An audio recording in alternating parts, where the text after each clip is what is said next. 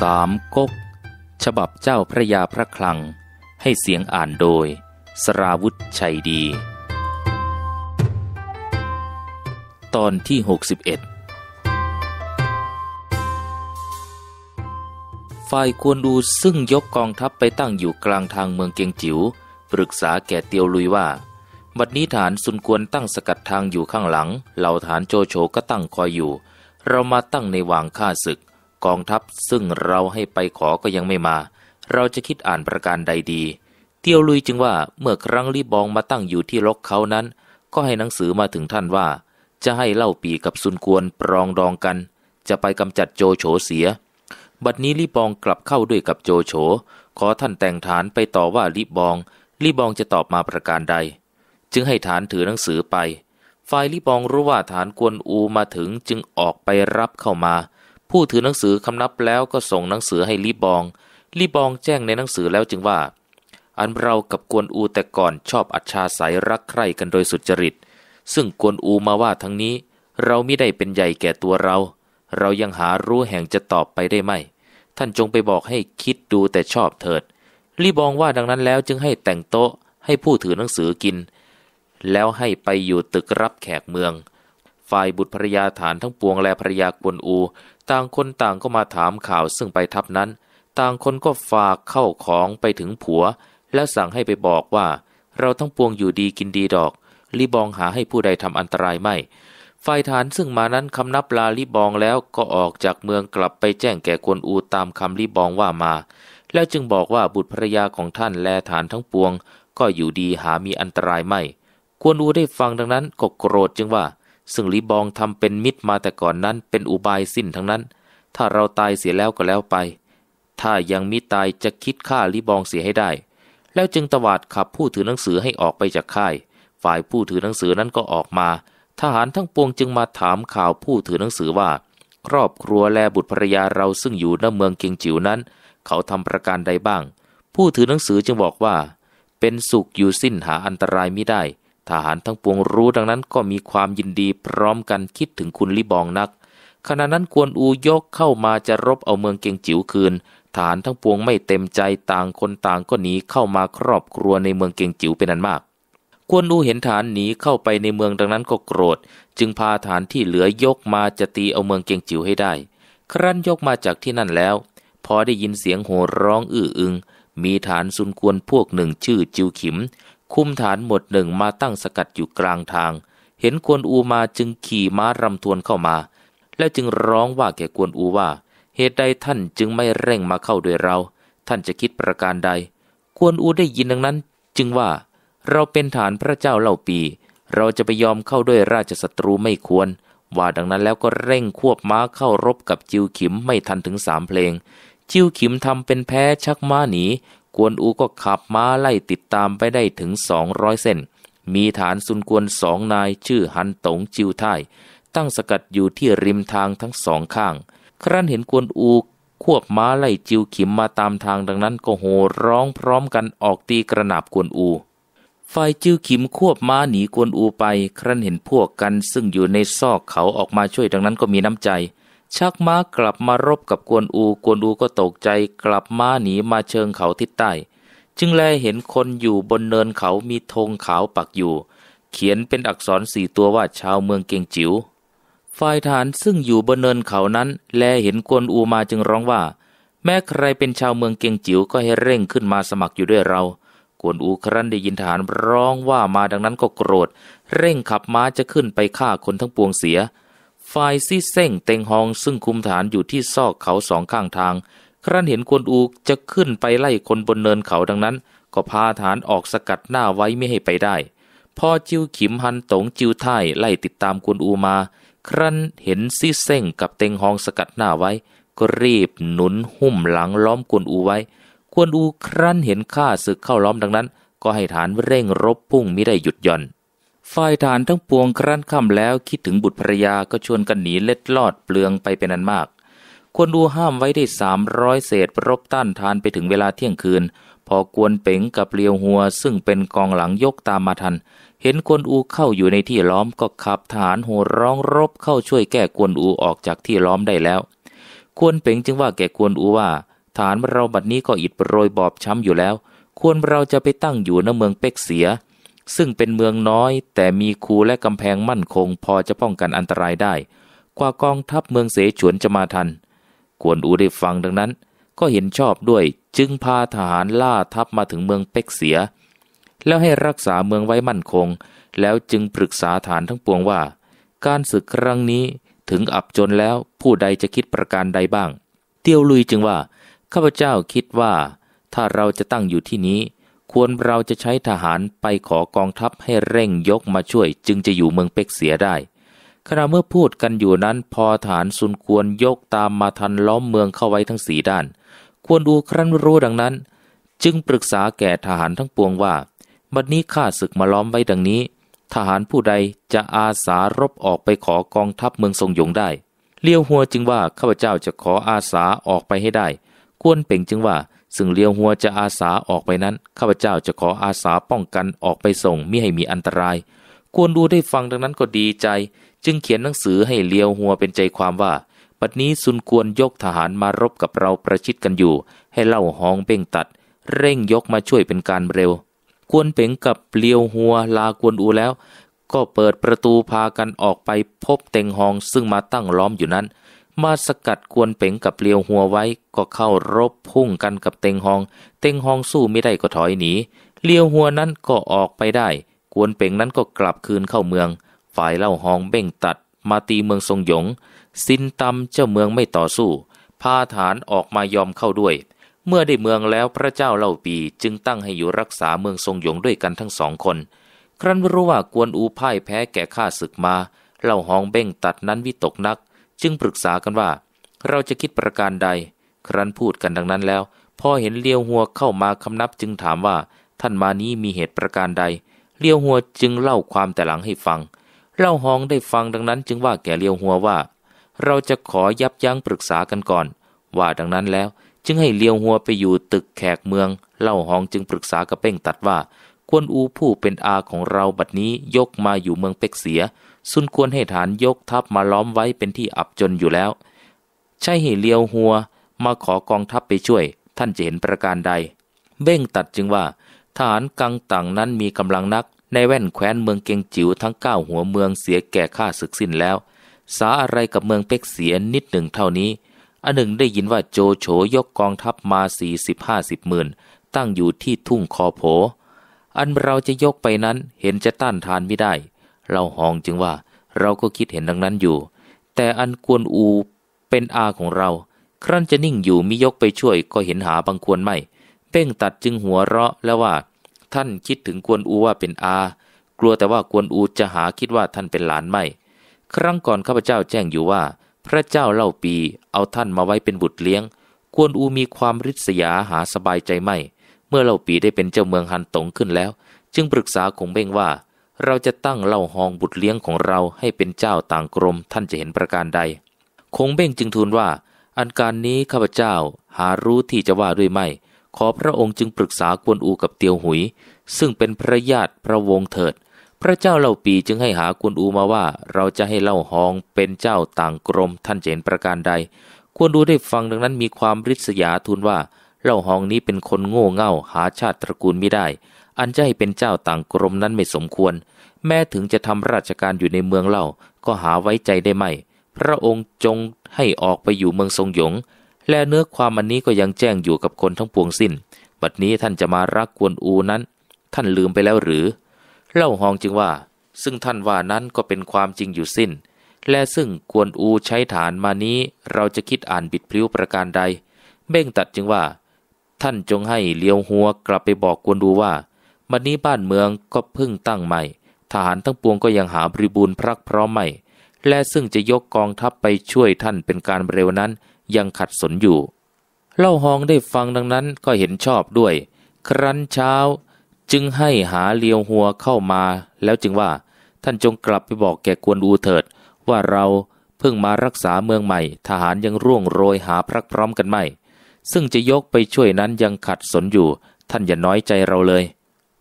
เลี้ยวหัวได้ฟังดังนั้นก็ตกใจจึงเอาศีรษะกระทบลงกับที่นั้นจนโลหิตไหลจึงว่า ซึ่งท่านมาตัดปรอนไม่ยกไปช่วยครั้งนี้ ควรอูจะไม่เป็นอันตรายเสียหรือฝ่ายเบ้งตัดจึงตอบว่า อันฆ่าศึกที่จะเข้ามาทำการณเมืองเกงจิ๋วครั้งนี้ อุปมาเหมือนกองไฟอันใหญ่ และซึ่งจะให้เรายกไปช่วยนั้น เหมือนหนึ่งจะเอาน้ำในจอกอันน้อยไปดับไฟกองใหญ่นั้นจะดับหรือ ท่านจงเร่งกลับไปคอยท่ากองทัพเมืองเสฉวนเถิด เลี้ยวหัวได้ฟังเบ้งตัดแลเล่าหองว่าดังนั้นก็น้อยใจ จึงร้องไห้วิงวอนด้วยถ้อยคำต่างๆ เล่าหองเบ้งตัดได้ฟังดังนั้นไม่ได้ตอบประการใด ลุกขึ้นสะบัดเสื้อเดินเข้าไปข้างในเลี้ยวหัวเห็นดังนั้นก็น้อยใจ ลุกออกมาด่าด้วยคำหยาบช้า แล้วก็ขึ้นม้าตรงไปหาพระเจ้าเล่าปี ซึ่งอยู่ในเมืองเสฉวนนั้น ฝ่ายควนอูอยู่เมืองเป็กเสียกับทหารห้าร้อยหกร้อยแต่ตั้งใจคอยกองทัพซึ่งให้เลี้ยวหัวไปขอกองทัพเล่าหองในเมืองทรงหยงนั้น ก็ยังมิได้เห็นมา ทั้งสเสบียงก็ขาดสน ทหารทั้งปวงก็บอบช้ำเจ็บป่วยเป็นอันมาก ขณะนั้นพอได้ยินเสียงจูกัดกิน ร้องเข้ามาแต่นอกกำแพงว่า อย่ายิงเรา เราจะเอาเนื้อความเข้ามาแจ้งแก่ท่าน กวนอูได้ยินดังนั้นก็ห้ามฐานไม่ให้ยิงเกาทัน จูกัดกินเข้าไปคำนับกวนอูแล้วจึงว่า บัดนี้สุนกวนใช้ข้าพเจ้ามาเที่ยวเกลี้ยกล่อมข้าพเจ้าจะขอว่าแก่ท่านสักข้อหนึ่ง โบราณท่านย่อมว่า อันเกิดมาเป็นคนให้รู้จักที่ได้ที่เสีย คิดอ่านรักษาตัวอย่าให้มีอันตรายได้ อันตัวท่านนี้แต่ก่อนเป็นใหญ่ในเมืองเกียงจิว๋วบัดนี้เมืองเกียงจิ๋วแล้วหัวเมืองทั้งเก้าซึ่งขึ้นแก่เมืองเกียงจิ๋วนั้น ก็เสียแก่ข้าศึกสิ้นแล้ว ท่านมาอยู่ในเมืองเป็กเสียนี้ทหารก็น้อยทั้งสเสบียงก็ขัดสน และกองทัพซึ่งจะยกมาช่วยนั้นก็ไม่มี ท่านจงสมัครไปอยู่กับซุนกวนเถิด เห็นว่าท่านจะได้ไปอยู่เมืองเกียงจิ๋วกับบุตรภรรยาญาติของท่านเป็นปกติเหมือนแต่ก่อน ข้าพเจ้าว่าทั้งนี้ ขอท่านจงคิดดูให้ควรเถิด ควรดูได้ฟังจูกัดกินว่าดังนั้น ก็ไม่ได้หวาดวันไหวน้ำใจเป็นปกติอยู่ จึงตอบว่าเราเป็นชายชาติทหาร ชาวเมืองไก่เลี้ยง อันพระเจ้าเล่าปีก็ได้ให้ความสัตย์ปฏิญาณเป็นพี่น้องกัน จะสู้เสียชีวิตด้วยกัน อันเราจะกลับไปเข้าด้วยศัตรูนั้นหาไม่ได้ ถึงเราจะแพ้ก็จะขอตายด้วยความสัตย์ขึ้นชื่อว่าชาติแก้วแล้ว ถึงจะแตกจะทำลายก็ไม่หายชื่อ อันหนึ่งชาติไม้ก็คงเป็นไม้ หาไกลเป็นอื่นไม่ ถึงตัวเราจะตายก็ให้ปรากฏชื่อไปภายหน้า ท่านอย่าพักว่าไปเลย จงกลับไปบอกสุนกวนเถิด เราจะขอทำสงครามด้วยท่านกว่าจะสิ้นชีวิต จูกัดกินจึงว่า อันน้ำใจของสุนกวนคิดจะใคร่ได้เป็นไมตรีกับท่านโดยสุจริต จะได้ช่วยกันทำการกำจัดโจโฉ เป็นไรท่านจึงมาถือสัตว์อยู่ชนี้ ควรเป่งได้ยินดังนั้นก็ชักกระบี่ออกจะฆ่าจูกัดกิน ควรดูยึดเอากระบี่ไว้แล้วจึงห้ามว่า ซึ่งจะฆ่าจูกัดกินเสียนี้มิได้ ด้วยคงเบ่งผู้น้องชายทำราชการอยู่ในพระเจ้าเล่าปี ถ้ารู้ไปเขาจะขัดใจผูกพยาบาทว่าเราฆ่าพี่เขาเสีย ครั้นว่าดังนั้นแล้วก็ให้ฐานเอาตัวจูกัดกินนั้นออกไปเสีย ฝ่ายจูกัดกินได้ความอัปยศแก่ฐานทั้งปวง ก็กลับไปหาซุนกวนจึงบอกว่า อันกวนอูนี้ดีจริง เป็นคนใจหนักแน่น มีกตัญญูตั้งอยู่ในความสัตย์ซุนกวนจึงว่า เขามีความสัตย์อยู่ชนี้ เราจะคิดประการใดดี ลี่ห้อมจึงว่า ข้าพเจ้าจะขอจับยามดู ถ้ากวนอูทำศึกแก่ท่าน จะแพ้แลชนะประการใดก็จะรู้ ซุนกวนก็ให้จับยามดู ลี่ห้อมจึงทายว่า ในเศษยามนี้ว่าข้าศึกจะหนีไปทางไกล ซุนควรได้ฟังดังนั้น จึงปรึกษากับลี่ฮอมว่า ในยามว่าข้าศึกจะหนีไปทางไกล เราจะคิดอุบายประการใด จึงจะจับข้าศึกได้ลี่บองหัวร้อแล้วจึงว่า ในยามทายว่าข้าศึกจะหนีก็ชอบด้วยอุบายของข้าพเจ้า อันกวนอูอุปมาเหมือนดังนกขังอยู่ในกรงซึ่งจะพ้นมือไปหาไม่ได้ ทั้งฐานก็น้อยแล้วก็อิดโปรยอยู่ อันจะหนีไปทางใหญ่เห็นจะไม่ไป ฝ่ายทิศอุดรเมืองเป็กเสียมีหนทางน้อยแห่งหนึ่งเป็นทางลัด แต่ก่อนกันดานด้วยมีซอกห้วยเหวเขามาก เป็นทางเดินยากก็จริง แต่ข้าพเจ้าเห็นว่ากวนอูจะไปทางนั้น ขอท่านให้จูเหียนคุมฐานห้าพันไปอยู่ทางนั้น ถ้ากวนอูหนีออกไปอย่าให้สกัดไว้ โดยกวนอูมีกำลังมากอยู่ ถ้ากวนอูล่วงไปหน่อยหนึ่งแล้ว จึงให้ฐานโหร้องไล่ฆ่าฟันติดตามไป อันหนึ่งให้พัวเจียงคุมฐานห้าร้อยให้คอยอยู่เชิงเขาเจ้าสันอันเป็นปลายทางนั้น ให้คิดอ่านหาอุบายที่จะจับกวนอูให้จงได้ เห็นว่ากวนอูจะอ่อนกำลังลงแล้ว ในเวลาค่ำวันนี้ท่านจงเร่งฐานให้เข้าหักทำลายประตูเมืองเป็นสามารถ เห็นว่ากวนอูแลฐานทั้งปวงจะหนีไปเป็นมั่นคงซุนกวนได้ฟังลี่บองว่าดังนั้นก็มีความยินดีนัก จึงให้ลี่ห้อมจับยามดูตามตำรา ลี่ห้อมจึงทายว่าเวลาวันนี้ศัตรูจะหนีออกจากเมืองไปโดยทิศอุดร เวลากลางคืนวันนี้จะจับได้เป็นมั่นคงซุนกวนได้ฟังดังนั้นก็มีความยินดีนัก จึงสั่งให้จูเหียนพัวเจี้ยงคุมฐานไปตามคำลี่บองว่า จูเหียนก็คุมฐานห้าพันยกไปซุ่มอยู่ริมหนทางนั้น ฝ่ายพัวเจียงนั้นคุมฐานห้าร้อยยกไปถึงเขาเจ้าสัน เห็นซอกเขาแคบแห่งหนึ่ง สองข้างทางนั้นรกชัด พัวเจียง จึงให้ขุดหลุมใหญ่สกัดทางไว้ แล้วปิดด้วยใบไม้ จึงขัดแล้วเท้าม้าไว้ริมซุ่มข้างต้นทางที่จะไปนั้น ครั้นเวลาค่ำสุนควรก็จัดแจงทหารซึ่งมีฝีมือเป็นอันมาก เข้าหักทำลายประตูเมืองเป็นสามารถ ฝ่ายควนอูเห็นข้าศึกหักโหมมีกำลังกว่าทุกที จึงจัดแจงฐานป้องกันประตู เห็นฐานก็น้อยมีแต่สามร้อยเศษ ขณะนั้นพอได้ยินฐานสุนควรร้องเรียกชื่อฐานซึ่งเป็นพี่น้องกัน และมิตรสหายให้ออกมาจากเมือง ฐานทั้งปวงก็ปีนกำแพงเมืองหนีออกไปเป็นอันมาก ทหารเกณฑ์รบนั้นก็เบาบางกองทัพหนุนซึ่งมีหนังสือให้ไปขอมาช่วยนั้น ก็ยังมิมาถึง จะคิดอ่านกลศึกแก้ไขตัวประการใดก็ไม่เห็นอุบาย จึงว่าแก่ฮองฮูว่า เรารำลึกถึงคำท่านว่าแก่เราแต่ก่อน เราไม่ได้ฟังถ้อยคำบัดนนี้เสียทีแก่ข้าศึกแล้ว เราจะคิดอ่านประการใดจึงจะมีชัยแก่ข้าศึกฮองฮูได้ยินกวนอูว่าดังนั้นก็ร้องไห้แล้วว่าข้าศึกมีกำลังหนักถึงเพียงนี้แล้ว การทุกวันนี้ถึงมาดว่าเรือเสียง ซึ่งเป็นคนดีมีสติปัญญาชำนาญในการสงครามนั้นยังมีชีวิตอยู่ก็ดี อันจะแก้ไขให้มีชัยแก่ข้าศึกกู้เอาเมืองไว้ก็เห็นไม่ได้ เตียวลุยได้ยินฮองงูว่าดังนั้นจึงว่า เรามีหนังสือไปขอกองทัพเล่าหองเบ่งตัดกองทัพฝ่ายเหนือ ให้ลงมาช่วยก็หายไปไม่เห็นมาข้าพเจ้าคิดว่าจะลาดทัพหนีออกจากเมืองเป็กเสียไปถึงเมืองเสฉวน แล้วจะได้จัดแจงกองทัพกับฐานซึ่งมีฝีมือเป็นอันมาก กลับมาตีเอาเมืองเกียงจิ๋วคืนให้จงได้ กวนอูเห็นชอบด้วย กวนอูฮองฮูเตียวลุยจึงพากันขึ้นไปบนเชิงเทิน เที่ยวดูรอบเห็นข้าศึกล้อมฝ่ายทิศเหนือนั้นเบาบาง จึงให้หาราษฎรชาวเมืองมาปรึกษาว่า เราจะไปเมืองเสฉวนตามทิศอุดรนนี้จะได้หรือไม่ได้ ชาวเมืองจึงบอกว่า ถ้าจะไปเมืองเสฉวนทางทิศอุดรนนี้ก็ได้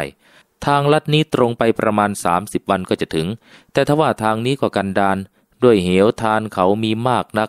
ควรดูจึงสั่งฐานว่า เวลาค่ำวันนี้เราจะยกไปเมืองเสฉวนโดยทางทิศอุดรฮองฮูจึงห้ามว่า ข้าพเจ้าเห็นว่าจะไปตามทางน้อยนี้ไม่ได้ เกรงว่าข้าศึกจะมาซุ่มกองทัพสกัดไว้ ถ้าจะไปทางใหญ่ช้า แต่เห็นว่าเดินสะดวก ควรดูจึงว่า ถึงมาดว่ามีกองทัพซุ่มอยู่ เราก็หากลัวไม่ จะหักไปให้จงได้ ว่าแล้วสั่งให้จัดแจงม้าแลฐานกับสเสบียงอาหารให้พร้อม แล้วจะยกออกจากเมืองเป็กเสียห้องหูได้ยินกวนอูว่าดังนั้นก็ร้องไห้ จึงว่าถ้าท่านไปตามทางน้อยนั้น อย่าวางใจเร่งระมัดระวังตัวให้จงหนัก ตัวข้าพเจ้ากับฐานร้อยเศษจะขอสู้ตายในเมืองเป็กเสีย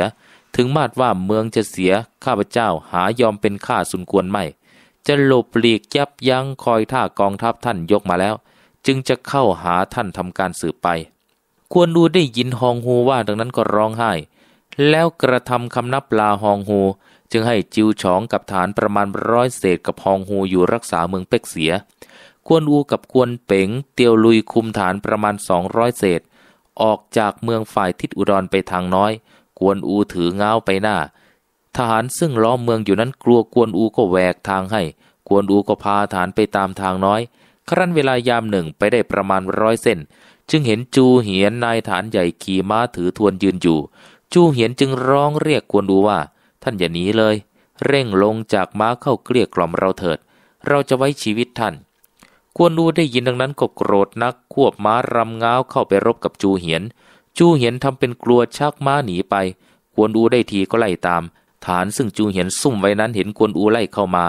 ก็ตีม้าล่อตีกลองโห่ร้องรุกไล่ออกมา กวนอูเห็นเหลือกำลังก็ชักม้าพาฐานหนีเลียบไปทางเขาเจ้าสัน จูเหียนก็พาฐานรุกไล่กระโจมฆ่าฟันฐานกวนอูล้มตายเป็นอันมาก แต่ประจันแทงฟันกันที่นั้นช้านาน กวนอูป้องกันรักษาฐานของตัวในเวลานั้นแทบประหนึ่งจะสิ้นกำลัง ด้วยฐานจูเหียนถึงห้าพันรุมตีเข้ามาถึงสามด้าน เหลือกำลังที่จะระวังทหาร ฝ่ายกวนอูก็พาฐานซึ่งเหลือตายหนีจูเหียนไปจากที่นั้นประมาณห้าสิบเส้น จึงแลเห็นกองไฟทับพัวเจียง แล้วก็ได้ยินเสียงผู้คนเป็นอันมาก แลไปเห็นพัวเจียงขี่ม้าถือเงาออกมา กวนอูโกรธ จึงควบม้ารำเงาเข้าสู้กับพัวเจียงได้สามเพลง พัวเจียงทำชักม้าหนีไปที่ข้างกองเพลิง กวนอูก็มีอาจที่จะตามไป ก็ชักม้าไปตามทางช่องแคบเชิงเขาเจ้าสัน กวนเป๋งจึงเดินขึ้นไปบอกแก่บิดาว่า เตียวลุยตายเมื่อขณะรบพุ่งวุ่นวายนั้นแล้ว กวนอูได้ยินดังนั้นก็กลั้นน้ำตาไว้ กลัวฐานจะเสียน้ำใจ จึงสั่งกวนเป๋งลงมารั้งหลังกวนอูไปหน้า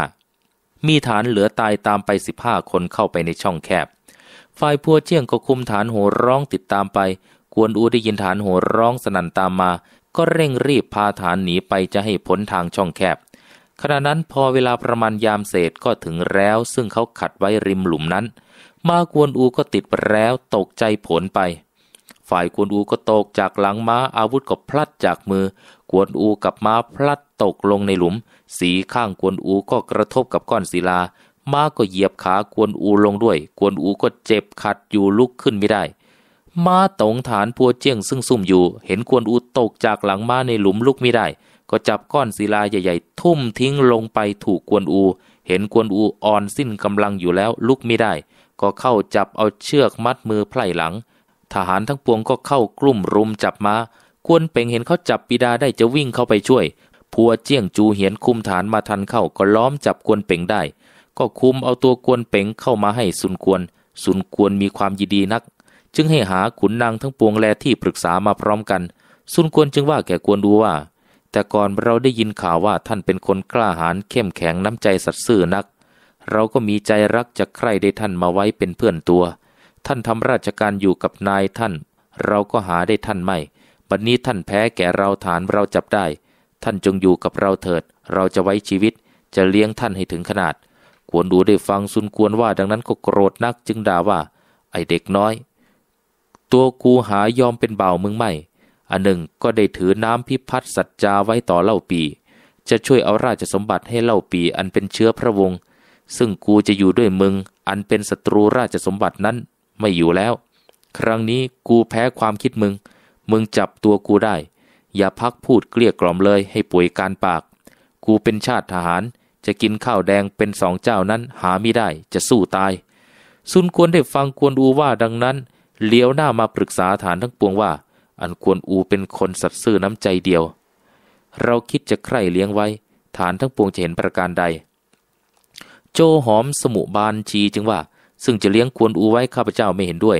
ครั้งหนึ่งโจโฉจับควรอูได้ตั้งให้เป็นขุนนางผู้ใหญ่ ให้เครื่องอุปโภคไปนั้นมากสามวันเลี้ยงโต๊ะทีหนึ่งห้าวันเลี้ยงโต๊ะทีหนึ่งบำรุงเลี้ยงถึงเพียงนี้จะเอาตัวกวนอูไว้ กวนอูก็ไม่ได้อยู่ ยังหนีไปหาเหล่าปีผู้พี่ ฆ่านายด่านเสียถึงห้าตำบล และซึ่งท่านจะเลี้ยงไว้ นานไปข้าพเจ้าเห็นว่าจะเป็นอันตรายเหมือนดังนั้น สุนควรได้ฟังดังนั้น นิ่งตรึกตรองอยู่เป็นครู่แล้วว่า ท่านว่านี้เราเห็นชอบด้วย จึงสั่งทหารให้เอาตัวกวนอูกวนเป่งพ่อลูกไปฆ่าเสีย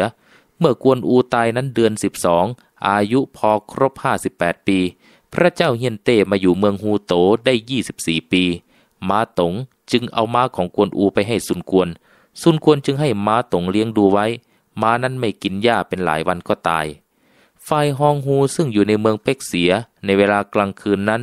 ให้เดือดร้อนในใจนัก หลับไปฝันเห็นประหลาด จึงไปเล่าให้จิวฉองฟังว่าข้าพเจ้าฝันเห็นควนอูมายืนอยู่ตรงหน้ามีโลหิตติดทั่วตัวตกใจตื่นขึ้นควนอูจะเป็นเหตุประการใดไม่ได้รู้ ฮองฮูพูดกับจิวฉองยังไม่ทันขาดคำพอมีคนเข้ามาบอกฮองฮูจิวฉองว่า บัดนี้ฐานซุนกวน ถือศีรษะกวนอูกวนเป่งมาร้องเกลี้ยกล่อมคนอยู่ริมกำแพง ห้องฮูจิวฉองได้ยินดังนั้นก็ตกใจ ชวนกันขึ้นไปดูบนเชิงกำแพง แลลงไปเห็นศีรษะกวนอูกวนเป่งก็เสียน้ำใจนัก ห้องฮูจิวฉองจึงว่ากันว่า เราหาที่พึ่งไม่แล้ว จะอยู่ใยให้ตายในเนื้อมือฆ่าศึกอีกเล่าห้องฮูก็โจรกำแพงลงไปตาย จิวฉองก็เอาดาบเชือดคอตาย เมืองเป็กเสียก็ขึ้นแก่เมืองกังตังแต่นั้นมา ฝ่ายกวนอูตายไปเป็นอสุรกายอยู่ในภูเขาจนหยกสัน แดนเมืองตองเอียง บนยอดเขานั้นมีหลวงจีนองค์หนึ่งชื่อเผาเจ๋ง หลวงจีนเผาเจ๋งองค์นี้ เดิมเป็นสมภารอยู่นวัดตินกกชื่อแดนเมืองกีซุน ไปเที่ยวบนเขาจนหยกสัน เห็นน้ำท่าที่อาศัยสนุกสบายจึงปลูกกุฏิบนเขาจนหยกสัน เป็นที่ระโหฐานจำเริญเมตตาภาวนา มีเนนองค์หนึ่งอยู่ปฏิบัติ กลางคืนวันหนึ่ง เดือนหงายเวลาสองยามเศษ หลวงจีนเผาเจ๋งภาวนาอยู่ในกุฏิได้ยินเสียงร้องว่า เอาศีรษะมาคืนให้เรา หลวงจีนเผาเจ๋งจึงแลออกไป เห็นคนหน้าแดงขี่ม้าถือเงามีคนแต่งตัวเป็นฐานยืนเคียงม้าข้างละคน ข้างขวาหน้าขาวข้างซ้ายหน้าดำมีคางเคราลงมาจากอากาศยืนอยู่ริมกุฏิ หลวงจินเผาเจ๋ง แลดูรู้จักว่ากวนอู จึงร้องเรียกแล้วกวักมือว่ามานี่กวนอู ฝ่ายกวนอูซึ่งเป็นอสุรกายก็ลงจากม้าเข้ามาคำนับ แล้วถามว่าสมภารเจ้าชื่อใดเล่า สมภารจึงบอกว่าเราชื่อเผาเจ๋ง เดิมเราอยู่วัดตินกกชือ รู้จักกับท่านมาแต่ก่อน ท่านแปลกเราแล้วหรือ กวนอูซึ่งเป็นอสุรกาย กระทำคำนับแล้วว่า ท่านจงสวดมนต์ภาวนาแผ่กุศลแลส่วนบุญให้ข้าพเจ้าบ้างเถิด ข้าพเจ้าแพ้ข้าศึกถึงแก่ความตาย หลวงจินเผาเจ๋งจึงว่าโกงเกวียนกำเกวียน ตัวฆ่าเขาเขาฆ่าตัว เมื่อท่านฆ่างันเหลียงบุญทิวแลนายด่านห้าตำบลเสีย ใครมาทวงศีรษะแก่ท่านบ้าง ครั้งนี้ท่านเสียทีแก่ข้าศึกถึงแก่ความตายแล้ว ท่านมาร้องทวงศีรษะแก่ใครเล่า หลวงจีนเผาเจ๋งว่าดังนั้นแล้วก็สวดมนต์แผ่ส่วนบุญให้ กวนอูอสุรกาย รับส่วนบุญแล้วก็ลาไปอาศัยอยู่ในยอดเขาจวนหยกสัน หลวงจีนเผาเจ๋ง จึงเอาเนื้อความอันนี้แจ้งคนทั้งปวงว่า กวนอูตายแล้วมาสิงอยู่ในภูเขาอันนี้ คนทั้งปวงก็นับถือจึงปลูกสารให้กวนอูอสุรกาย อยู่บนยอดเขานั้น ก็เป็นที่เทพารักษ์ศักดิ์สิทธิ์แต่นั้นมา ฝ่ายซุนควรได้เมืองเกงจิ๋วแล้วก็ให้รางวัลแก่ฐานซึ่งมีความชอบตามสมควร จึงให้ลี่บองนั่งที่สูงกว่าฐานทั้งปวง แล้วจึงว่าแก่ขุนนางว่า เราคิดว่าจะได้เมืองเกงจิ๋วโดยยาก อาศัยลี่บองก็ได้ง่ายได้ ไม่ทันจะพลิกมืออีก เพราะความคิดของลี่บอง ความชอบอันนี้ใหญ่หลวงนักลี่บองได้ยินดังนั้นลุกขึ้นคำนับซุนควรแล้วจึงว่า เพราะบุญท่านจึงได้เมืองเกงจิ๋วโดยง่าย ซุนควรจึงว่า แต่ก่อนเรามีจิวยี่มีสติปัญญากล้าหาญชำนาญในการกลศึกโจโฉยกทัพบบกทัพเรือมามาก ทหารถึง 83หมื่นมารบกันตำบลเซ็กเพกอาศัยความคิดจิวยี่มีชัยชนะโจโฉโดยง่าย จิวยี่พ่ายแพ้ความคิดของเบ่งก็ตายเสียแล้ว ยังอยู่แต่โลซก ครั้งหนึ่งจิวยี่ยังไม่ตาย โจโฉมีหนังสือมาเกลี้ยกล่อมเรา ที่ปรึกษาทั้งปวงยอมจะให้เราไปขึ้นแก่โจโฉแล้วโลซกผู้เดียวไม่ยอม จึงให้หาจิวยี่เข้ามาปรึกษาจะทำสงครามกับโจโฉ อันนี้เป็นความชอบของโลซก ครั้งหนึ่งเล่าปี ให้มาขอยืมเมืองเกงจิ๋วว่าจะอาศัยอยู่ เราปรึกษาโลซก โลซกยอมให้จึงวุ่นวายทั้งนี้ อันนี้เป็นความผิดของโลซก ปัจนี้เราอาศัยความคิดของรีปอง จึงได้เมืองเกงจิ๋วโดยสะดวก ความคิดรีปองชนะความคิดจิวยี่โลซก สุนควรว่าแล้วจับจอกสุราริน ยื่นสองมือ โดยคำนับ ให้ลิบอง ฝ่ายอสุรกายกวนอูมีความพยาบาทลิบองนัก ก็มาเข้าสิงอยู่ในตัวลิบอง พอลิบองจับจอกสุราจะกินเข้าไป ก็ให้ทิ้งจอกเหล้าลง แล้วชี้หน้าสุนกวนตวาดด้วยเสียงอันดัง จึงด่าว่าไอเด็กน้อยตาแดง มึงรู้จักกูหรือไม่ ที่ปรึกษาทั้งปวงก็ตกใจลิปองจึงขึ้นไปผลักสุนกวนลงเสีย จึงขึ้นนั่งอยู่ที่สุนกวน แล้วก็เลือกตากรอกไปมา ตวาดด้วยเสียงอันดังว่า เมื่อโจรโพกผ้าเหลืองไล่ย่ำยีราษฎรด้วยความเดือดร้อน กูพี่น้องสามคนไล่ปราบปรามโจร โจรจึงราบคาบมาประมาณสามสิบปีแล้ว ปัจนี้กูแพ้ในกลศึกของมึง กูถึงแก่ความตาย กูเป็นคนไม่ได้กินเนื้อมึง กูตายแล้วจะหักคอมึงไปให้จงได้ มึงไม่รู้จักกูหรือ กูชื่อว่ากวนอู สุนควรได้ยินดังนั้นก็ตกใจลงกราบไหวอยู่กลางดิน ครั้นสงบเสียงลงสุนควรแลฐานทั้งปวงเงยหน้าขึ้นไป แลเห็นรีบบองคอพับลง โลหิตไหลออกมาทางปากแลจมูก ลิบองก็ถึงแก่ความตาย สุนควรและขุนนางทั้งปวงก็ตกใจ จึงเอาศพลิบองไปฝังไว้ตามธรรมเนียม จึงตั้งลิปาผู้บุตรขึ้นแทนที่ลิบอง มีฐานเข้ามาบอกแก่สุนควรว่า เตียวเจียวจะเข้ามาหาท่าน สุนควรจึงให้เชิญเตียวเจียวเข้ามาฝ่ายเตียวเจียวเข้ามาคำนับสุนควรแล้วว่า ได้ยินว่าท่านจับกวนอูกวนเป่งพ่อลูกได้ ท่านฆ่าเสียแล้วหรือ ถ้าจริงดังนั้น มิช้ามีนานอันตรายจะมาถึงกังตังเป็นมั่นคง เพราะกวนอูคนนี้ได้สบทสาบานเป็นพี่น้องกับเล่าปี สัญญากันไว้ว่า ตายก็จะตายด้วยกัน เล่าปีก็ได้เป็นใหญ่ในเมืองตังฉวนเสฉวน มีฐานเป็นอันมาก เข้าปลาอาหารก็บริบูรณ์อันหนึ่งความคิดในกลศึกใครจะเสมอคงเบ่งหาไม่ได้ จะว่าด้วยฝีมือทหารจะหาเปรียบด้วยฝีมือเตียวหุยฮองตรงม้าเฉียวจูล่งก็หายากนัก ถ้าเล่าปีรู้ไปว่ากวนอูกวนเป่งพ่อลูกตายแล้ว ก็คงจะยกทัพมาสิ้นทั้งเมือง จะมารบเอาเมืองกังตังแก้แค้นข้าพเจ้าเห็นว่าจะรับรองต้านทานไม่ได้ สุนควรได้ฟังดังนั้นก็ตกใจกระทืบเท้าลงว่า อันตรายซึ่งจะมีมาแก่เมืองกังตังดังนี้แล้ว ท่านจะคิดอ่านแก้ไขประการใดเล่า เตียวเจียวจึงว่าถ้าท่านไว้ธุระแก่ข้าพเจ้าดังนั้นแล้ว ขอท่านอย่าได้วิตกเลย ข้าพเจ้ามีอุบายอันหนึ่งไม่ให้เล่าปีทำร้ายเมืองกังตังได้ จะรักษาเมืองกังตังให้มั่นคงดุดพื้นปัตตภีซุนควรได้ฟังดังนั้นก็ดีใจจึงถามว่าท่านจะทำประการใด เตียวเจียวจึงว่าบัดนี้โจโฉมีฐานถึงร้อยหมื่นนายฐานที่มีความคิดดีทั้งฝีมือกล้าหาญก็มีเป็นอันมาก ถ้าเล่าปียกกองทัพมาแก้แค้น และจะบอกไปถึงโจโฉให้ยกเป็นทัพกระนาบมา เมืองกังตังก็จะขัดสนหาที่พึ่งม่ได้ ข้าพเจ้าคิดอุบายจะคุมเอาศีรษะกวนอูไปให้โจโฉฝ่ายเล่าปีรู้จะเข้าใจว่าโจโฉแซงใช้ให้เราทำเห็นจะมีความแค้นแก่โจโฉนัก ก็จะไม่ยกทัพมาตีเมืองกังตังจะยกไปตีโจโฉเราก็จะมีความสบาย จะดูเล่นใครแพ้แลชนะก็ช่างซุนควรได้ยินเตียวเจียวว่าดังนั้นก็เห็นชอบด้วย จึงสั่งให้ฐานต่อหีบใส่ศีรษะกวนอู แต่งฐานให้รีบไปทั้งกลางวันกลางคืน เอาศีรษะกวนอูไปถวายโจโฉ ครั้งนั้นโจโฉมาจากเมืองคอโผ มีคนเข้ามาบอกโจโฉว่าซุนควรใช้ให้ฐานคุมเอาศีรษะกวนอูเข้ามาถวาย